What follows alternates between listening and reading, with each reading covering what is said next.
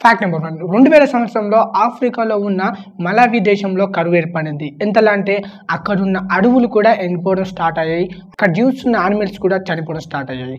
అక్కడ ఎంత కరువు ఏర్పడిందంటే అక్కడ వాటర్ ఫుడ్ కానీ లేకపోవడంతో అక్కడ మనుషులు కూడా చనిపోవడం స్టార్ట్ అయ్యారు అప్పుడు ఒక పద్నాలుగు ఏళ్ళ పిల్లవాడు చేసిన పనికి చాలామంది మెచ్చుకున్నారు. ఏం చేశాడంటే ఆ పద్నాలుగేళ్ళ పిల్లవాడి పేరు విలియమ్స్ కమక్ వాంబా ఇతను ఏం చేశాడంటే తనకు ఫస్ట్ స్కూల్కి వెళితే ఆ స్కూల్ టీచర్స్ స్కూల్ నుండి గెంటేశారు. ఎందుకంటే తన స్కూల్ ఫీజు కట్టలేదని. అయితే తను ఇంటికి వచ్చిన తర్వాత వాళ్ళ చుట్టుపక్కల నైబర్స్ కానీ కొందరు రిలేటివ్స్ చనిపోవడం స్టా స్టార్ట్ అయ్యాయి. ఎందుకంటే అక్కడ ఫుడ్ లేక వాటర్ లేక వాళ్ళ చుట్టుపక్కల అందరూ చనిపోతున్నారు. ఈ విలియమ్స్ కమక్వాంబకి ఒక ఐడియా వచ్చింది. ఏంటంటే స్కూల్లో చదువుకున్న విండ్ మిల్స్ గురించి గుర్తుకొచ్చింది. ఫాస్ట్ స్కూల్కి వెళ్ళాడు. వెళ్ళిన తర్వాత అక్కడ కొన్ని విండ్ మిల్ గురించి ఒక బుక్లో ఉంది.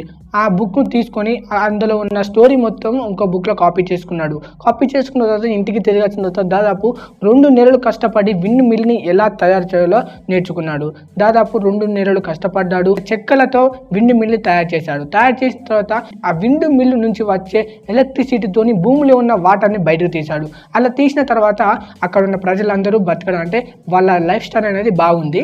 అయితే ఆ వాటర్తో ఈ ఫుడ్ కానీ ప్యాడీస్ కానీ వెజిటేబుల్స్ తయారు చేయడం పండించడం స్టార్ట్ చేశారు. అయితే చాలామంది తను మెచ్చుకున్నారు. అప్పుడు తనకి ఇరవై సంవత్సరాలు ఉండే ఉంటాయి. అప్పుడు యూజ్ అంటే అమెరికా తిరిగి తీసుకొని చదివించింది.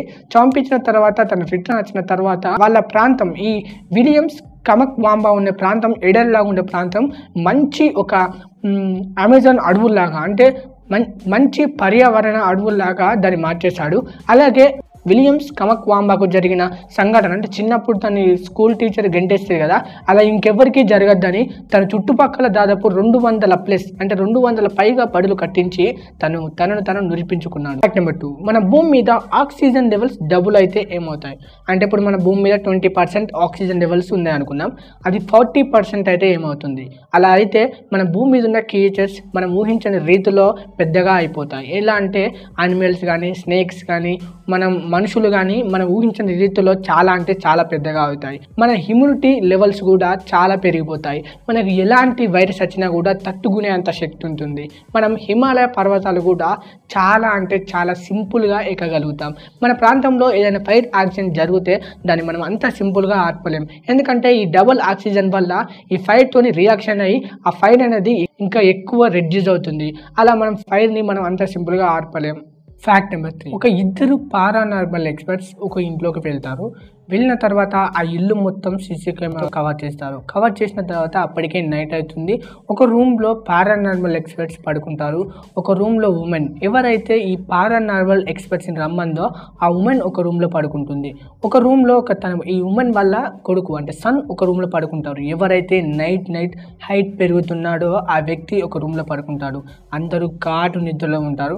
దాదాపు ఆ ఏ టైం అంటే ట్వెల్వ్ ఫిఫ్టీ టూ మినిట్స్ అంటే మిడ్ నైట్ దాదాపు ఆ మిడ్నైట్ టైప్లో ఆ మెల్లగా ఆ బాబు హైట్ పెరగడం స్టార్ట్ అవుతాడు. అంటే చేతులు కానీ లెగ్స్ కానీ మీరు చూసిన ఫోటో లాగా అంత అంటే దాదాపు ట్వెల్వ్ టు ఫిఫ్టీన్ ఫీట్స్ అంత పొడుగు పెరుగుతాడు. ఆ నైట్ నైటే ఆ పెరిగిన వ్యక్తి అదే రూమ్లో గుండ్రంగా తిరుక్కుంటూ తిరుక్కుంటూ బయటికి వచ్చి వాళ్ళ మమ్మీ రూమ్ని కొట్టడం స్టార్ట్ చేస్తాడు. అప్పటికే తెల్లవారవుతుంది అనమాట తెల్లవారింది ఆ కెమెరాలో రికార్డ్ అయిన వీడియోని మొత్తం పారానార్మల్ ఎక్స్పర్ట్స్ మార్నింగ్ చూస్తారు. చూసిన తర్వాత చాలా షాక్ అవుతారు. ఎందుకంటే ఇంత పెద్దగా అవుతున్నాడు. అందుకే వీళ్ళ మమ్మీ మనం పిలిపించి చెక్ చేపిస్తుంది అని వాళ్ళు నెక్స్ట్ డే నైట్ పడుకుంటారు. సేమ్ హెడ్ అదే విధంగా నైట్ అందరూ పడుకుంటారు. సేమ్ అదే షార్ప్ ట్వెల్వ్ ఓ క్లాక్కి ఫస్ట్ వాళ్ళ మమ్మీ రూమ్ అంటే ఎవరైతే ఈ పారానార్మల్ ఎక్స్పర్ట్స్ని పిలిపించిందో ఉమెన్ రూమ్లోకి వెళ్తారు. వెళ్తే మూమెంట్ సడన్గా ఉన్నట్టున్నట్టుగా మాయమైపోతుంది. అలాగే ఆ పిల్లవాడి రూమ్కి వెళ్ళిపోతే సడన్గా ఉన్నట్టున్నాడు ఆ పిల్లవాడు కూడా మాయమైపోతాడు. ఈ పారానార్మల్ ఎక్స్పర్ట్స్ ఫాస్ట్గా బయటకు వచ్చి బయట రిలేటివ్స్ అంటే నైబర్స్ని అడిగితే వాళ్ళు చనిపోయి దాదాపు టూ ఇయర్స్ అవుతుందని అంటారు. అందుతోనే ఈ పారానార్మల్ ఎక్స్పర్ట్స్ షాక్కి గురవుతారు. ఎందుకంటే వీళ్ళిద్దరూ చనిపోతే మమ్మల్ని ఎందుకు ఈ హౌస్లోకి వచ్చి ఆ పిల్లవాడిని చెక్ చేయమంది అని చిక్కులో పడతారన్నమాట. చాలామంది ఈ వీడియోని రీఛార్జ్ చేసి ఇన్వెస్టిగేషన్ చూస్తే ఆ వీడియో ఒక ఎడిట్ చేసిన వీడియో లాగా మాత్రం అస్సలు అనిపించదు మీకు కింద డిస్క్రిప్షన్లో ఈ వీడియోని పెడతా.